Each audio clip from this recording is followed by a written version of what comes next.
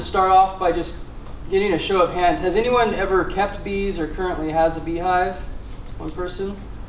Anyone, you, you have a beehive now or have you kept one No, in the past? it was on loan from a beekeeper. It was, okay. Do you live in For about a Fullerton? Do you live in Fullerton? yes. Okay. Is anyone interested in keeping bees potentially? Okay. So I'm going to talk a little bit about uh, the ecology of bees, uh, how, how we fit into the picture, a little bit about colony collapse disorder, um, and uh, I'll go into a, a little bit about what we can do to help with the bee population. Um, and then I'm going to go into uh, beekeeping on more of a hobbyist level. So there's different stages I'll go through with, with keeping hives. Uh, but as far as uh, what Kent said, in Fullerton, they passed a law recently where if you have a permit, you can keep bees. That would be more on a hobbyist level. So I'll, I'll discuss beekeeping on that sort of a level, uh, which I think anyone can do pretty much uh, if you have the, the land. Um, I'll talk a little bit about honey, how we extract it, um, and then I'll have some time for questions and answers. And then I have some, some slides here where we can kind of look at the queens. Um, if this is fairly informal, so if anybody has any questions, you guys can raise your hand and, and ask as we go along. But I'll also have a, a time at the end for questions and answers. I'm not going to dive into more of the complicated aspects, splitting beehives or treating pathogens, um, the business of beekeeping too much, unless you guys have specific questions. So, um, again, fairly informal, I'm going to kind of keep it a bit basic. So, um, just a few facts here. First off, oh, so I'm going to start with a video. If anyone can tell me what's going on here.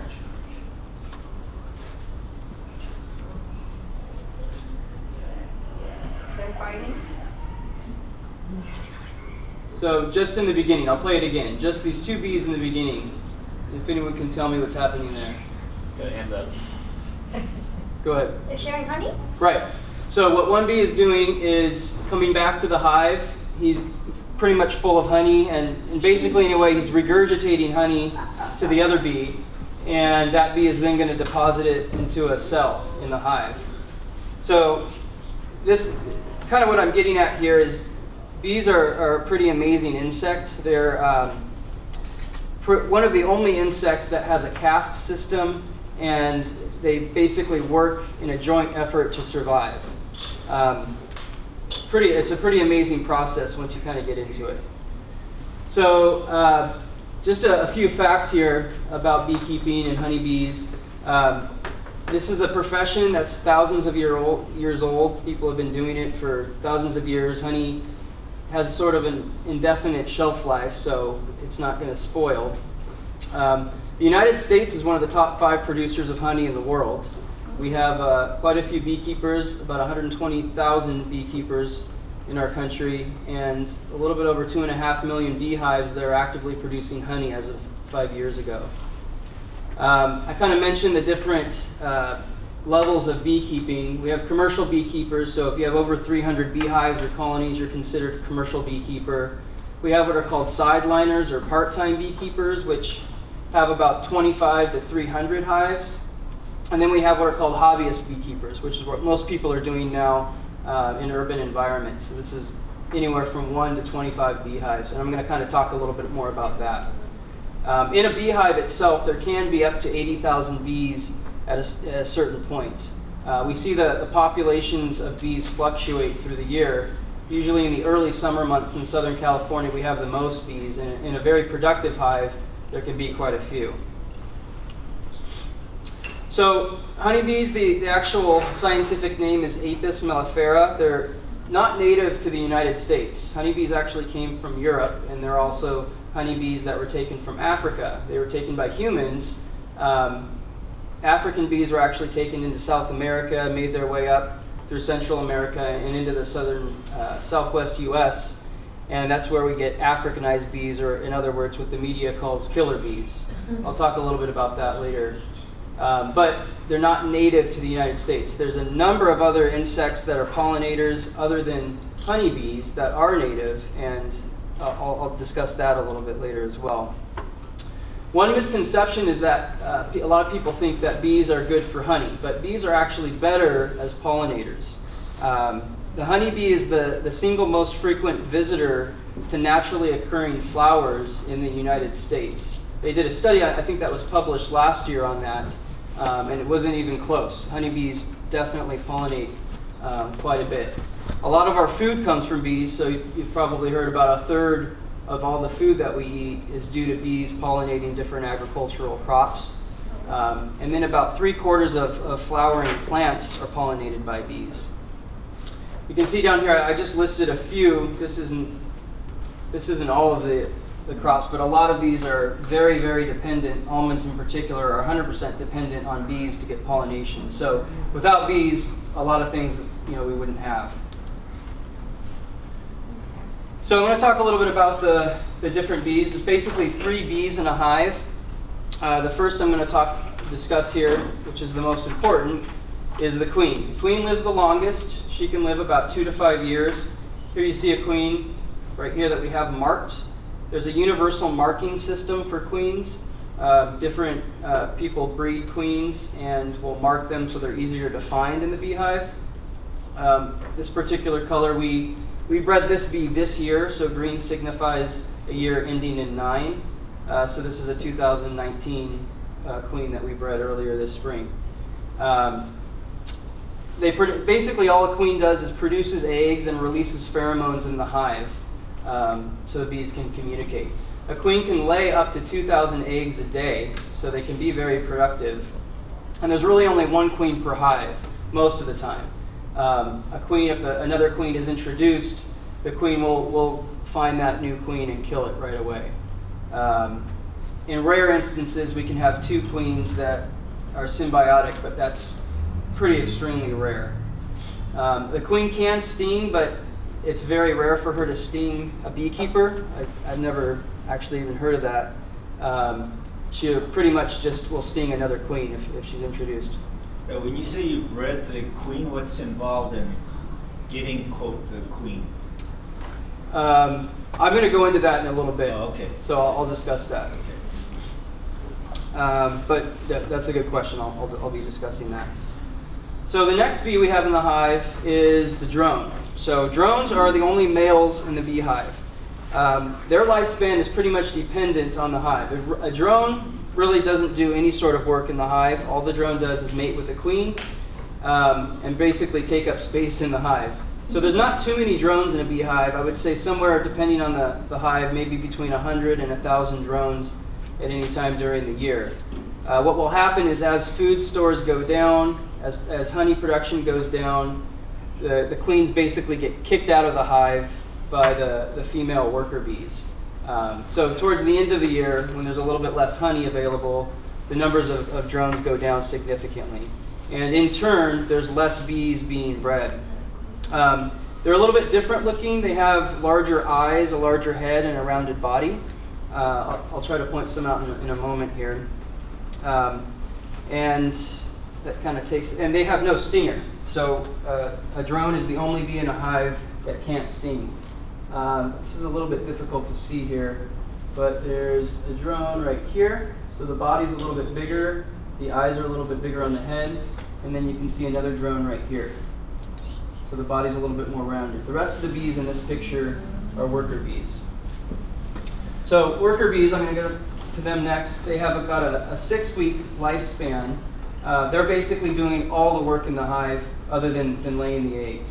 Um, there's sort of a caste system when it comes to worker bees. So younger bees usually spend about the first 20 days of their life in the hive, uh, helping to build wax comb, taking care of the queen, um, keep cleaning out the cells, maintaining the, the temperature inside of the hive, which is usually maintained in the mid 90s.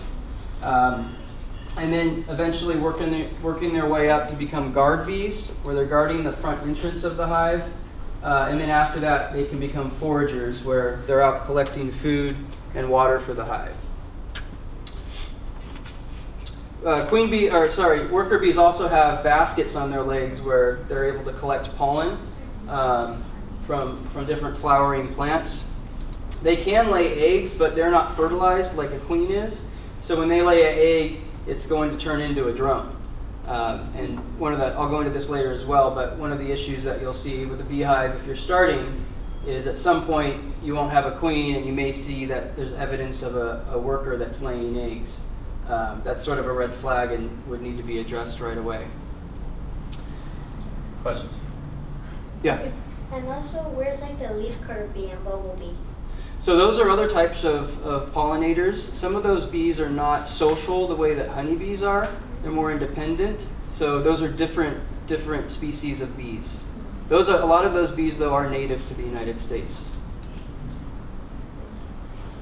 So bees go through what's called uh, metamorphism. So this is basically four stages that they go through. Every single bee starts as an egg, then becomes a larva, develops into what's called a pupa, and then emerges as an adult.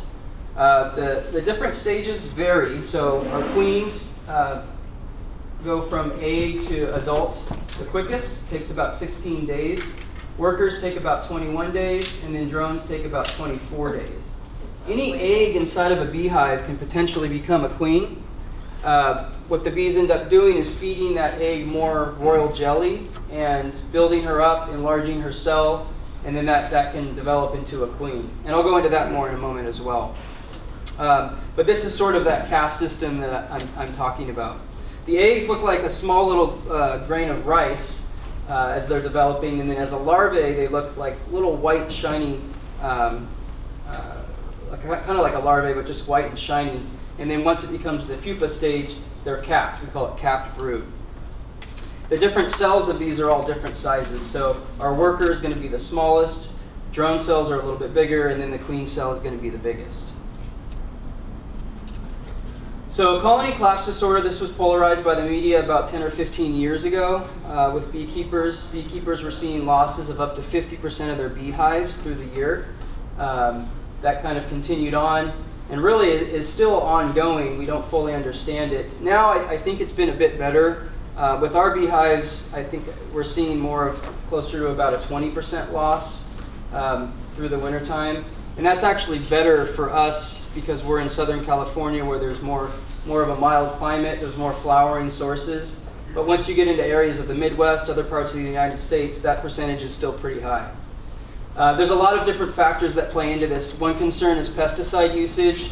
Uh, neonicotinoids are a common, or were a common pesticide that were used on different agricultural crops. Uh, the FDA is, is starting to address that a little bit more now monocultures, so a lot of commercial beekeepers will take their beehives across the country and the bees will end up pollinating basically just one crop. That's been a, a little bit of an issue. Poor nutritional sources. Some beekeepers will supplement their beehives with pollen that has GMOs or basically raw sugar so that they're not going out and, and foraging to get natural uh, nectar or pollen. Uh, and then new pathogens. There's a lot of different pathogens that, as beekeepers, we're always struggling to deal with. Uh, the biggest being Varroa. This is a mite that uh, basically infects the hive. Uh, when the hives, if you look at the hive as sort of an immune system, when that immune system is lower, that Varroa becomes a problem. Um, I mentioned commercial travel and stress as an issue. Habitat loss, so growing urban areas, taking away agricultural areas where, where hives are kept, and then climate change. A lot of queens come from different parts of the country. Uh, a lot of them are from Northern California, um, or even some from Europe, and they're not able to adapt to some of the climate changes that we're seeing. So uh, I mentioned earlier that the domestic honeybee is not native uh, to the United States. And, and really, colony collapse disorder is a syndrome. So we, we still don't understand it. It was never fully understood before. Um, and it really is, is going to take a lot more time, I think, for us to, to really understand that.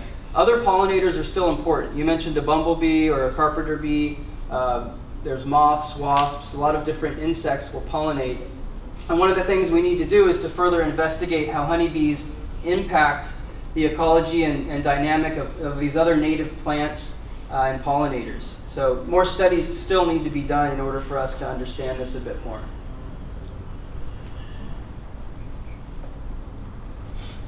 So what can we do to help? Urban environments are really the best for bees. Uh, the reason for that is because there's less pesticide use. When we take bees out into rural environments where there's agriculture, there's lots of pesticide use up there. In, in urban environments, it's much less. There's also much more flowers. People plant flowers in their yards, they water their yards. There's usually a regular water source and flower source for bees to go to. Bees, bees can travel up to a few miles, but if there's a source in front of them, they're not going to waste or expend their energy doing that. They're going to go to the closest source. So, really, these types of environments, Fullerton, Orange County, is really a great place for bees. Uh, planting diverse flowers in your yard definitely helps, nectar and pollen sources. If you see a swarm or a hive, you have a hive in your house, the best thing to do is to call a beekeeper rather than an exterminator. Beekeepers can most of the time go out, save that, or catch it, relocate it, and hopefully save it at that point. Uh, and usually, experienced beekeepers are able to recognize right away whether there's any sort of disease or if the queen is aggressive, anything like that.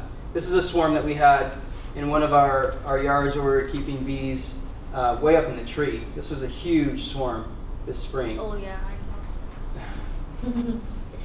Um, providing water sources for bees is a, is a great way to help them. So I'm not talking about pools or hot tubs, spas, anything like that, but having fountains out, moss with water, kind of soaked moss, things like that are really, really good for bees. Um, avoiding any pesticide and chemical uses on your on your flowers at your house will help. Um, purchasing honey from uh, beekeep- local beekeepers or basically raw honey significantly helps. A lot of the honey in the United States is not domestic; it's imported, and unfortunately, it's tainted. Um, and those don't don't come from beekeepers. Those come from packers. That I'll go into that a little bit later as well. But there's a lot of issues that come up with that. And then what I think is one of the biggest things is responsible beehive management. So basically, the public having beehives now, a lot of cities are, are approving this, is helping, but it's just not a matter of getting a beehive, putting it in your yard, and leaving it. Fullerton actually has uh, a, a pretty descriptive, uh, on their website, pretty good description on what you actually have to do to manage your hive. You can't just put a beehive in your yard and then and then let it be. There's issues that come about with that. Beehives can swarm, and if they're aggressive, that perpetuates. They can have disease, they can swarm, and then they can transfer that disease to other hives. So it's really a matter of making sure that you're at least read up a little bit. Maybe somebody's helping you. Um, but responsible beehive management goes a long way. So I'm going to talk a little bit about keeping hives here locally. There's there's a couple of ways that you can start a hive if you're interested. Uh, one way is from a swarm. So basically, you catch a swarm, which I, if you've never you know kept bees, I wouldn't recommend going after something like this. It's just not worth it. Um, but catching a swarm is one way. Rescuing an existing hive from somebody's house is another way. Again, I wouldn't suggest that. Uh, the next two things I would recommend though is getting a purchasing a package of bees or purchasing what's called a nucleus colony. This is one of our beekeepers here. He's holding what's called a nucleus colony, and this has about five frames of uh, bees in it with one queen. Uh, this is sort of like a starter hive in a way before it develops into one of the larger hives. Uh, that's a good way. These packages are small boxes that come with about two to three thousand bees in them, with one queen, and those those are eventually transferred into a beehive, um, and then from there it, it grows. Uh, and then you can also purchase the hive outright, which I think for a beginner, I, I wouldn't necessarily suggest it because those bees are already full blown working and, and you really got to get to work right away. Uh, one of these other two options, you have some time to kind of give them a, a few weeks in between inspections, kind of step back and see what you're doing. You're doing the right thing. How much does a nucleus colony cost? I think that that depends on the what beekeeper you're going to. We our company sells nucleus colonies for about two hundred and fifty dollars. Um, I think it varies from around two to three hundred dollars in general. These are difficult to ship though, so you'd, you'd have to find a beekeeper locally that's willing to give that to you. Packages usually ship, so a lot of those come from Northern California and they overnight them.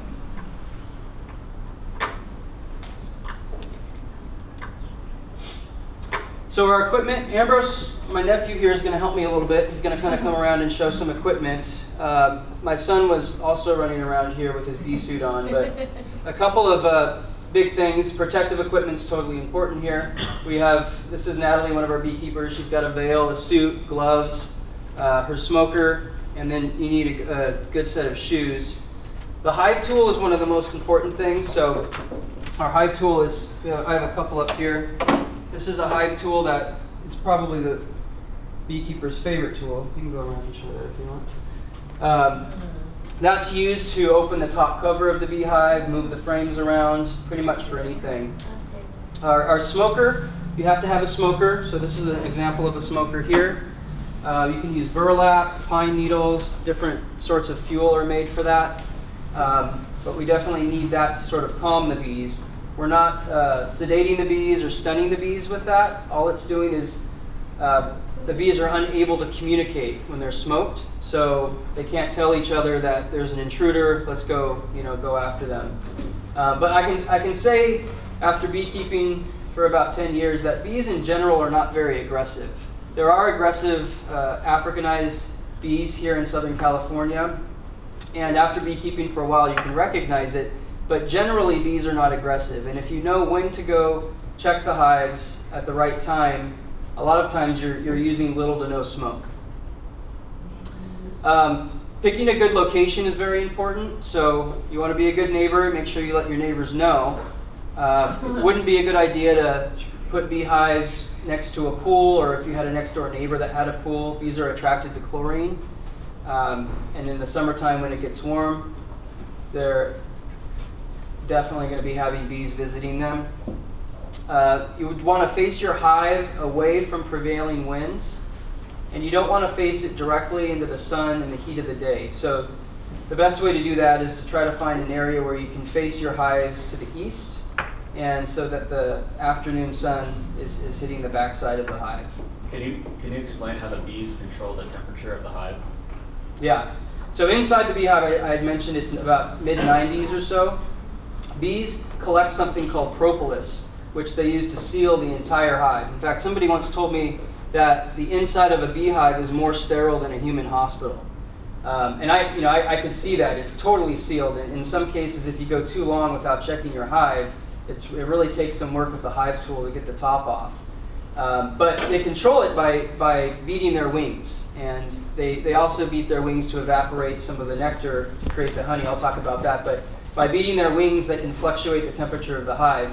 And if it's too hot, like in the middle of the summer, a lot of them will start coming out of the front of the hive um, and, and start cooling. We call it a bee beard, where in front of the hive, you see this cluster of three, three to 5,000 bees right here.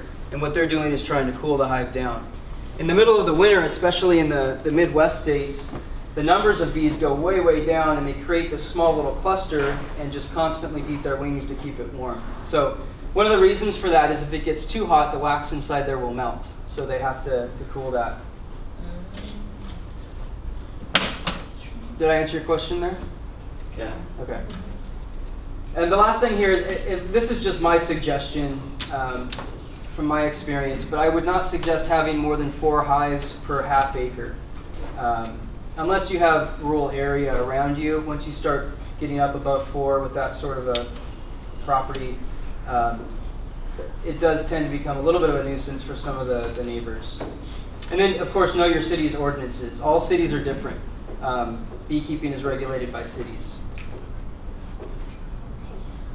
Yeah. If you have um, a swarm that's uh, extremely aggressive, do you destroy them? No. We, uh, we actually breed our own queens. So we, we breed gentle queens. So we'll go into that hive after we've saved them and we'll actually kill the queen. And then we'll, we'll replace it with a new queen that's gentle. That's gentle. Yeah. So, And that, hi- so the hive's aggressive, it's the queen, it's not, it's the, the queen is, is the queen and the drones are giving all of the genetics to the hive.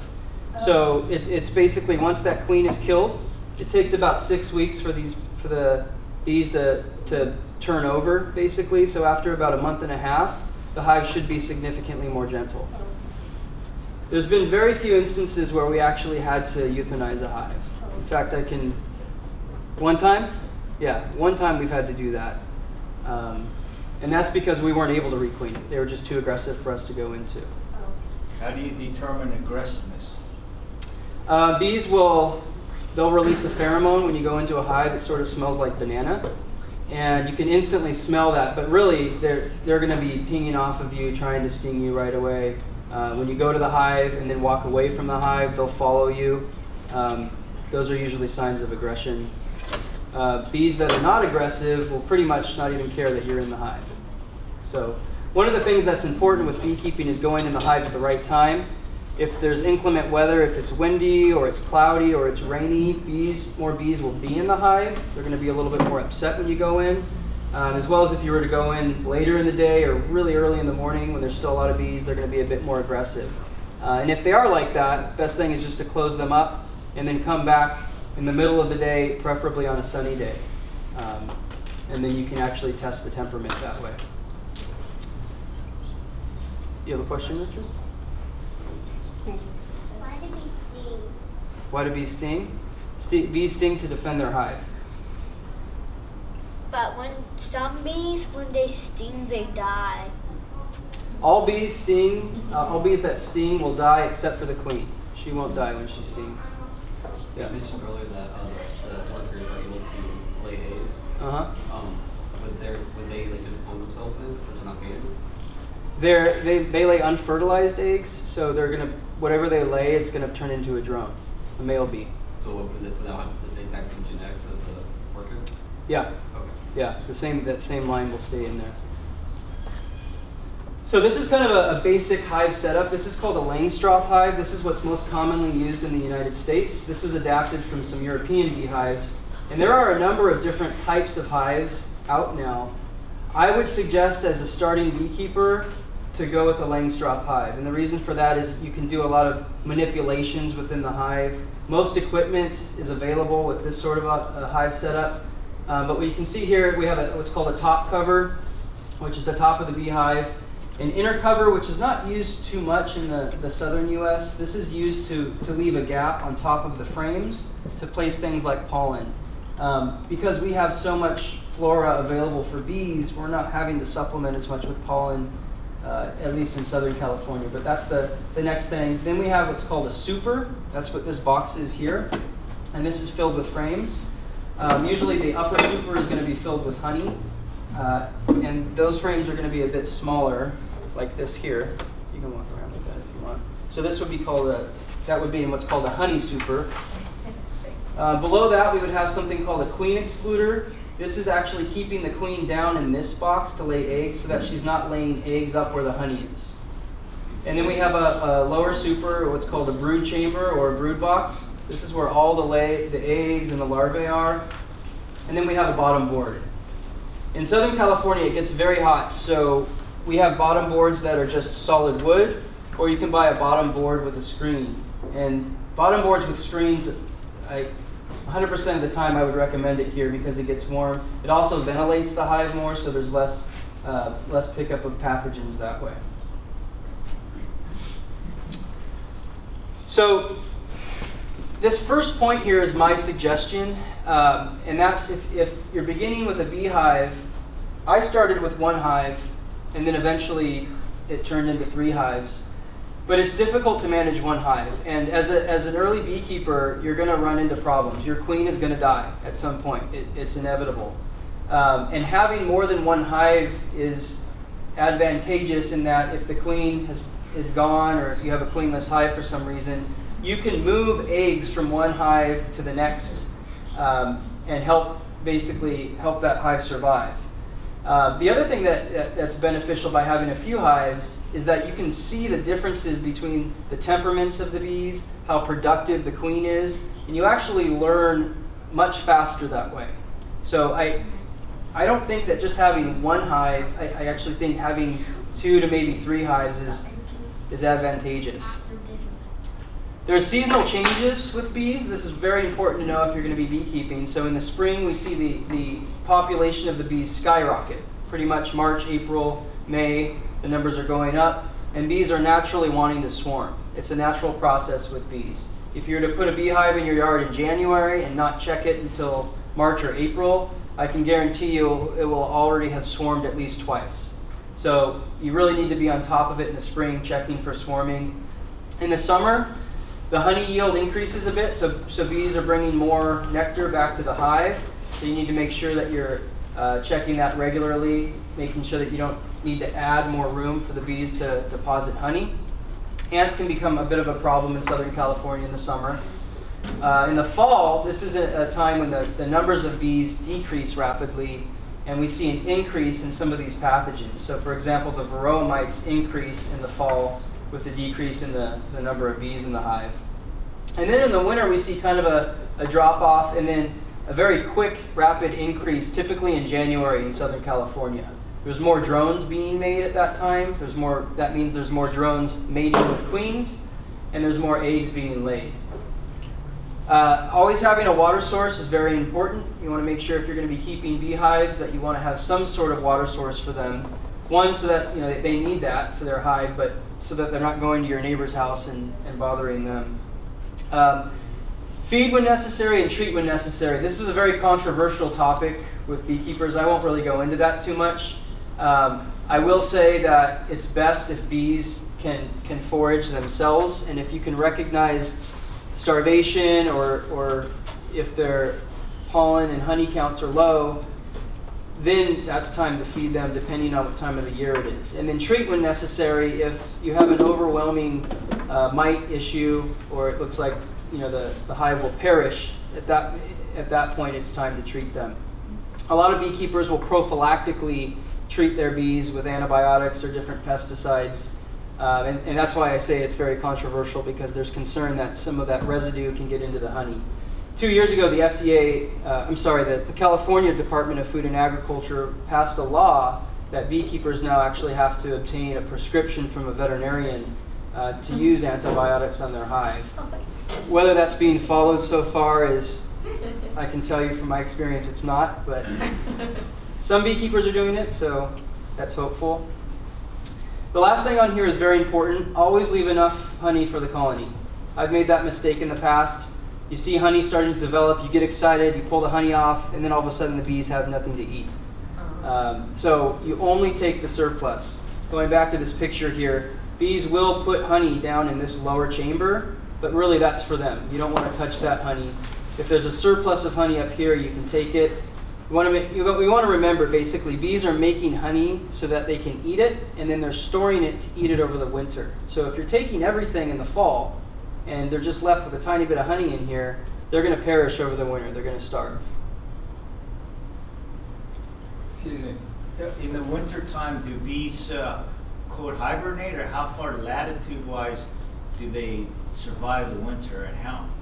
That's a good question. So in Southern California, they don't hibernate and I guess you can call it hibernating in parts of the country. In, in parts of the country where it freezes and there's snow, the bees will stay in the hive and come out once or twice the entire winter just to do, they kind of basically stretch their wings and then come back into the hive. It looks like a swarm and then they come right back. Uh, but they stay clustered to keep that hive warm uh, pretty much the whole winter. So the beekeeping in Minnesota is, is completely different than beekeeping in Southern California. It's such an advantage for us here because we have such a mild climate and we can actually get honey year round here in some cases. Um, last winter, we actually had a very wet winter and there was a lot of, of flora through the winter and spring and we were almost getting honey year round because of that. So I'm going to talk a little bit about the queen. I think you asked a, a question earlier about uh, some queen breeding.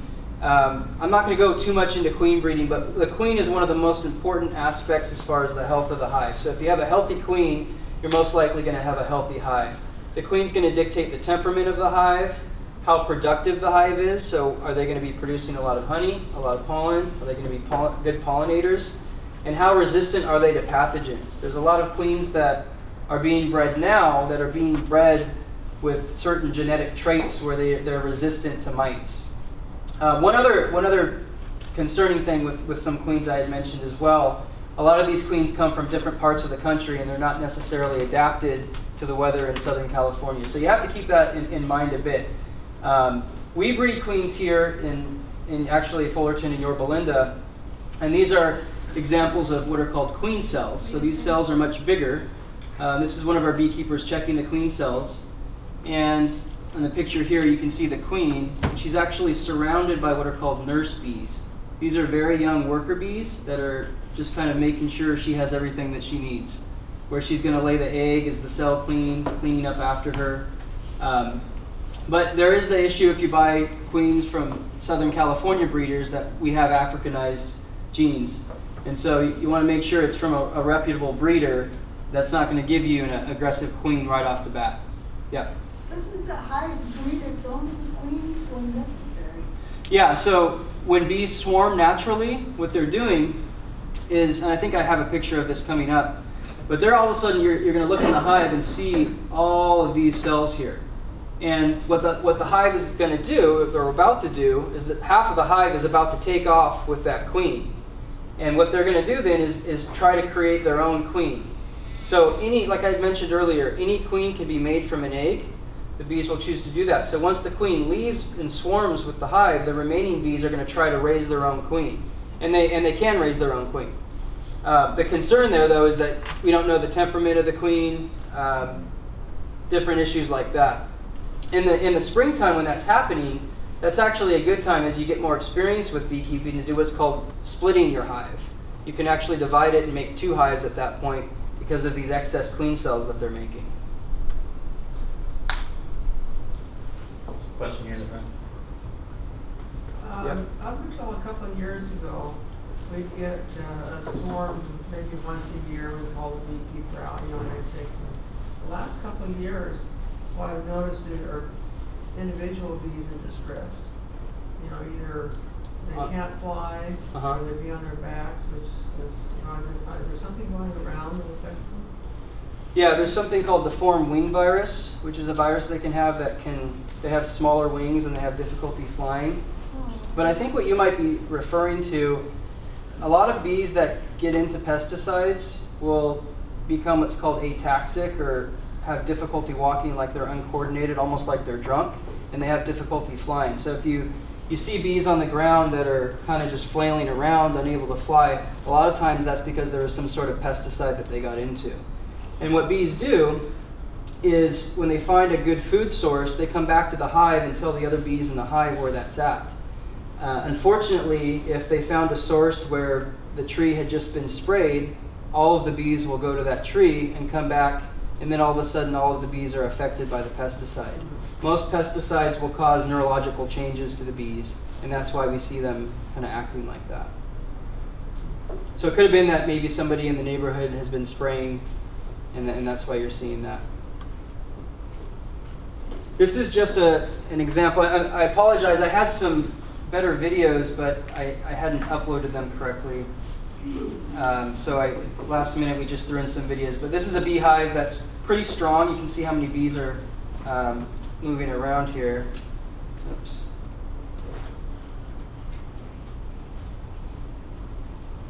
So it, it does get pretty busy. The bottom entrance of this is completely open. The problem with that, if you have a, a, more immature hive, say with just one or two boxes, is that other bees will see that and come in there and then try to rob their honey. And that will create some aggression. With a more uh, mature beehive, like this one, uh, you can leave it open and they're able to defend themselves because their population is so high. So doing hive inspections, if you have a beehive, this is basically what you're going to be doing about every three to six weeks. And there's a few key things that you're looking for when you inspect your hive. So what you're going to be looking for are any evidence of swarm cells. Uh, swarm cells being those, those larger queen cells that I pointed out. You can have what are called supersedure cells, which are swarm cells rather than being on the bottom of the frame, are actually within the middle part of the frame. So most, most bees will, will swarm and put their queen cells or swarm cells on the bottom here. If you see a few cells in the middle of the, the hive, that means that the queen suddenly, for some reason, died, and now they're trying to supersede her. The queens are the, the bees are trying to make a new queen. Um, but you're checking for that. You're checking for the their pollen and honey stores. So in the early summer, late spring, they're filling it with more honey. It's time to put more more boxes or supers on top of it. Otherwise, they are going to swarm. Um, and then as you get more experience, you, you really are, are checking the brood pattern of, of the hive, and that's going to kind of dictate how much of uh, a pathogen problem or parasite problem they have. Um, a lot of early beekeepers will get hung up on trying to find the queen every time you're checking the beehive, and that's not totally necessary. It's pretty cool to find the queen, but what you're looking for is evidence of the queen. So if you're seeing eggs in each cell, um, you're seeing a good brood pattern, you know that there's a queen in the hive that's laying and she's healthy. So this is an example of a nucleus colony. Um, we make these, what we do is when we split a beehive, we make them into a nucleus and then build them up into a, one of these bigger boxes. But uh, these can become pretty active as well, going in and out of the entrance there.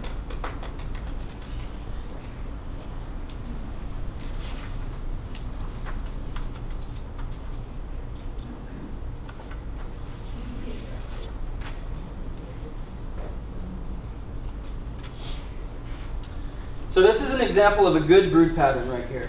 So these are all capped uh, pupa inside the hive. That's an excellent brood pattern. That's evidence that there's a very strong laying queen in this hive. Um, here you can actually see swarm cells. So this is a hive that we had this spring that was swarming. All of these are, are queen cells on the bottom. So this, this hive is getting ready to swarm very quickly.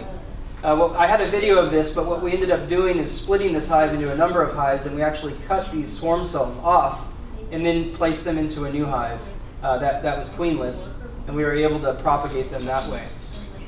So what you're looking for is a good brood pattern. Um, you're looking at the numbers of bees in the hive. So if the numbers of bees in the hive is, is dropping, that's a concern. You're looking at their pollen and honey stores, and then you're looking at the eggs directly, um, the larvae directly, and then if you can, trying to find the queen. But again, that, that can take a long time, especially as an amateur beekeeper. The problems that we're looking at or we're faced with, these are some of the pathogens. So varroa mite is the most common. Something called American foul brood, which is a bacterial disease that is regulated now by the USDA because of how problematic it is. We don't really see much of that in Southern California. I've, I've been beekeeping for 10 years and I've never actually had it, luckily, in any of my hives. Uh, what's more common is something called European foul brood in the United States. Uh, tracheal mites, hive beetles, and wax moths can all become a problem. Starvation. So this is a, a bit more common in the fall. If uh, it gets really dry, there's not a lot of pollen sources, bees can starve, and at that point you really need to be feeding your bees, otherwise they will perish. Uh, swarming, I, I went over that. And then a queenless colony. Sometimes you, you go into your hive, you can't find the queen, there's no eggs, or maybe you see that there's multiple eggs in each cell. That's usually evidence of a laying worker. At that time, it, it, it's you want to try to order a queen. Um, or if, if you have the, the luxury of having two to three hives, you can move a frame of eggs into that hive, and hopefully they'll raise their own queen. Pesticide kill. So again, I, I, went over that. If, if bees are going to a source, the whole hive is going to go there, and then the, the hive can perish. And then Africanized bees are a problem. Africanized bees, really, the beekeeper that's coming out to rescue a hive or a swarm really needs to be aware uh, of the temperament of the bees and able to requeen them. Otherwise, this is going to uh, perpetuate the problem uh, of aggression in the bees. Um, but Africanized bees are, are still continually a problem here. So I'm going to talk a little bit about honey. Uh, we brought some honey today. My father's over there. He's gonna, if you guys would like to sample some of the honey, we have it here. Um, but uh, what happens here, uh, this is a, a, pretty good example of a very mature beehive. You can see these are our brood chambers here on the bottom, so that's where the queen is doing all of her work. Here's our queen excluder, and then on top we have our honey supers. So there's, there's uh, frames of honey up here. What happens is bees will deposit honey in these little cells. So bee, a bee goes to a flower, they collect nectar, which has a pretty high water content.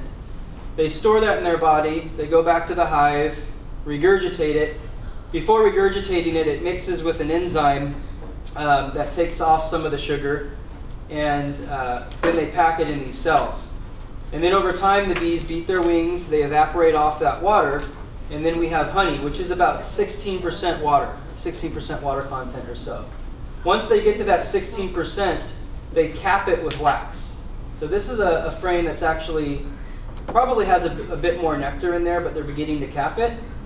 And then you can see as they become a little bit more capped, looks like that. And then this is a fully capped frame of honey here. So this is ready to be extracted. So what we're doing here, this is the extraction process. We take that frame of capped honey and we take a hot knife. We have this right here. Um, this is actually electric. And we basically shave off those wax cappings. A lot of beekeepers will reserve that those wax cappings and uh, for wax, things like that. Uh, but we shave that off and then we put it into what's called an extractor. This is like a big centrifuge.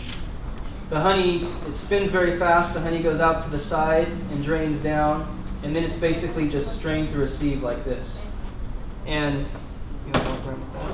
and that's basically raw honey. A lot of honey can become over processed um, or filtered, and it takes out a lot of the in- inherent properties that are, are so good in raw honey. Raw honey actually has a lot of pollen, it has propolis, sometimes it has honeycomb bits, it's all edible and it's actually where a lot of the nutritional value uh, from honey comes. It's not pasteurized and it's not filtered. Uh, when honey's pasteurized or heated too high, it, it takes out a lot of the inherent enzymes and antioxidants that come with honey. Raw honey could be crystallized, opaque, or clear. This is an example of different types of honey. So basically, these are different varieties. We have, we have some of these here today, uh, but they all look different and, and this is pretty incredible. They all look different based on whatever the bees are pollinating. So for example, here's orange blossom. The bees are pollinating orange trees. It creates a completely different texture, taste, aroma, and color to the honey. Compare that to something like buckwheat down here, which has a very strong molasses texture, very strong odor and taste, completely different. So I, would encourage you guys, if you want to taste some of this honey and taste the difference between raw honey, um, it, it's pretty remarkable what the bees can do. So some benefits of raw honey. There's a lot of anti-inflammatory, antibacterial, and antifungal properties. Honey is actually used quite a lot in uh, human and veterinary medicine. Uh, honey is, is packed with antioxidants. It's used a lot now for as a prebiotic for gut health. Um, and then for years, it's been used as a cough suppressant and uh, soothing agent for sore throats, things like that. Raw honey definitely has a superior taste that, to, compared to honey that's processed. So honey that's filtered or overheated is going to have sort of a generic sweet taste, uh, whereas raw honey has a very unique taste based on whatever the bees are pollinating. One of the cool things about keeping a beehive in, in Southern California, if you keep one in your house, you're basically going to get wildflower honey. And every batch is going to taste different because there's different flowers blooming whenever you're going to pull that honey off. So that's kind of a, a cool aspect of it. Um, raw honey is untainted, so a lot of honey, I mentioned this earlier, is, is uh, imported into the United States. And unfortunately, uh, some of this is tainted with antibiotics. Um, there's corn syrup or cane sugar that's put into it, and it's not real honey. So really you want to make sure, you know, if you're seeing crystallized honey, that's actually a good sign. You know that it's raw and it's probably less tainted. It's coming from more of a trusted source. What's the shelf life of honey? It has an infinite shelf life. Yeah. So what it's going to do at some point is it will crystallize or granulate. Um, you can always reliquefy it by putting it in a warm bowl of water, and it will reliquefy. Uh, in Europe, they actually prefer it crystallized. So most honey sold is sold in crystallized form. Uh, but it has an infinite shelf life. So is that why you can use it on wounds as an antibacterial? The reason that it's used on wounds is because honey has such a high sugar content that it has an osmotic effect. So when you put it over a wound where there's bacteria or fungus, it draws that out of the wound because of the osmosis there. That's the main reason that it's used in dressings. There's some kind of honey that does not crystallize, from the Yeah. south, isn't it? What is that? Uh, acacia honey is, is slower to crystallize. Sage honey, which we have here today, does not regularly crystallize. And then uh, this is a good, a good point to bring up because each of these varieties all crystallize at different rates. Wildflower honey tends to crystallize very quickly. Avocado honey tends to crystallize, takes a very long time, two or three years. Um, sage honey does not crystallize. So they're all very different in, in what you're going to get.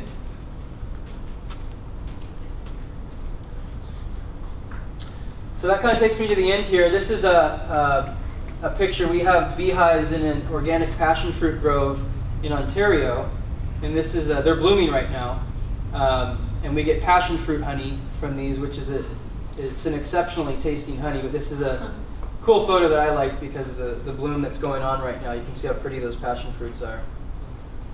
Um, so I have a couple other slides that I'll show in a minute, but does anybody have any other questions right now? Yeah. How can you get sage honey? I mean, can you get such a big batch of sage that, you know, all the bees are going for that batch? Yeah, I, I didn't go into what what I do, but we have I have a company, um, and we have uh, close to 200 beehives, and we move a lot of our beehives to to get certain varieties. So we've moved beehives to Central California to get uh, coastal sage in that area. So the only area around here that we've acquired sage is in Silverado Canyon. You're not going to be able to plant enough sage in your own yard to get sage honey. Well, I mean, like, is it maybe only sage blooms at that time? Yes. That's all, Yeah, well, nothing else is blooming. So what you're doing is you're moving the beehives into an area where there's sage that's in bloom, and then the bees will go to that. Uh, it, it depends on what you're pollinating as well. So for example, blueberries, you have to move the hives into the blueberries halfway through the bloom, and then the bees will go to it, and then um, the, they'll go to, to just those trees. Um, same thing when we go to oranges, we have to put them in right at the start of the bloom. They'll go to the orange trees. But you can't just put it in a grove of orange trees that are not blooming. They're not going to go to those. Does being moved around upset them at all? Yeah. Yeah, it does. It, uh, it's a stressor on the bees. So it's, uh, yeah. yeah. So when you're going after, so you're going after local sage habitats, so are you seeking out like black specific species, like a black sage or purple Uh-huh. sage? So our so the bees that we've had in Central California are pollinating black button sage. The bees that we've had in Silverado Canyon are just are pollinating the native sage that's up there, Ah, okay. blooming. That usually blooms in the springtime up there. Yeah. Any other questions? Yeah. And another way to know that if the honey is like real, some people have been selling like stuff that are not real honey. So if you like get a bowl and pour some honey and water, and if it's just waves, that's not like real honey. But if you get like a different one, and you get to see like those rectangle shapes, and that's like real honey. Interesting. you know a lot about honey. And You have a question? Is there such thing as organic honey? Is that a loaded question? Um, there, there, we have organic honey, but it doesn't usually come from the United States. It gets certified from other countries and then imported into the United States. It's difficult to control where the bees go. So uh, there are, are programs now, like the non-GMO program, and the certain certifications for um, organic foods that are trying to be able to certify honey, but it's very challenging because they have to see, they have to know where the beekeepers are keeping their beehives, and they have to be a certain distance from really agriculture or, or rural areas where there's a lot of heavy pesticide usage. But really, people still still spray their yards, you know, in urban areas. So we, I, I don't think you can realistically say that honey is 100% organic. I think what's more important there is are, what kind of chemicals are you putting on your bees? Uh, how much sugar are you feeding your bees? Are your bees just going out, foraging, coming back, and then are you just taking the raw product? That's really what more organic honey should be. Um, but there may be more certifications that pop up to, to help these, these types of beekeepers. When you see swarms running around the, the neighborhood, are, are they potentially healthy? Is that a good sign of health, that they were strong enough to, to swarm? Yeah, so bees naturally swarm when the numbers of bees in their hive increase. So that means that there's a hive nearby where you know their, their numbers were increasing, they outgrew their home, and they had to swarm. Either that, or you know maybe that a beekeeper was not tending to the hive as regularly as they should, um, not adding boxes or, or checking it. But that's a, a total natural process. In Southern California, it usually happens somewhere between March and I would say Oc- October, November. Uh, we were getting we were getting swarms into December last year, weren't we? That's a little rare, but Um, it's a total natural process. All right, and that's all I have.